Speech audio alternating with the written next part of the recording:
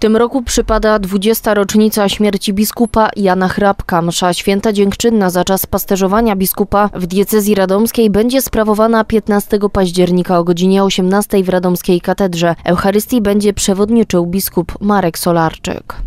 Przyjaciel biskupa Jana Hrabka ze zgromadzenia napisał takie słowa, że świat jęknął z bólu, a Kościołowi głos się załamał. E, Naprawdę, jak e, wrócimy do tamtych dni, to mieliśmy w sobie e, takie emocje. Po mszy świętej nastąpi wręczenie nagrody Viventi Caritate za 2021 rok przyznawanej przez kapitułę funduszu imienia biskupa Jana Hrabka.